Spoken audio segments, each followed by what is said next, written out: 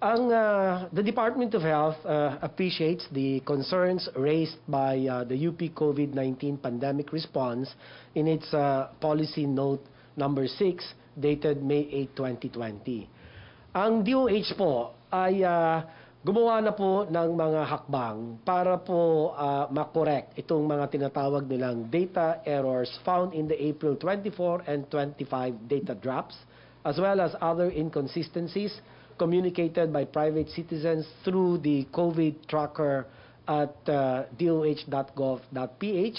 As early as April 26, we have since caught and corrected these issues, and we are uh, very much uh, we very much appreciate the UP Resilience uh, Institute for raising their concerns. No? We assure the public that the issues raised are less than 1% maliit pa sa isang porsyento of the whole data set and does not prejudice the overall interpretation of data and decision making. We continuously rectify the data the moment we identify any issue. For example, inconsistencies in the formatting of the date, case classification, and proper identification of the location. Nevertheless, the DOH remains committed to transparency and we welcome feedback from expert community Moving forward, for utmost transparency, we will include more details on the specific rows that have changed from the previous day.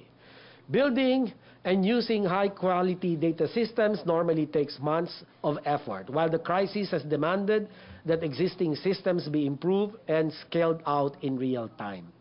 DOH is currently rolling out a new digital epidemiological surveillance information system. Tawag po rito COVID-KAYA that has been developed in collaboration with the World Health Organization country office. This new system automates several data collection processes, which is expected to minimize encoding errors.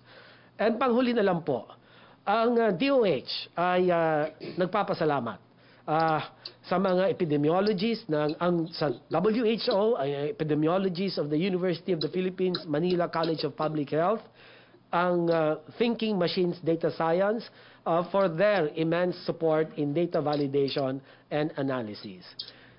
The daily data drops would not be possible without their guidance and expertise. We are collaborating with a range of institutions and we welcome other data engineers, data scientists, and specialists willing to contribute to this effort as this is a matter of national importance. Tama po kayo. We strive to continuously improve our data collection and reporting systems and we welcome all the feedback we receive from the public.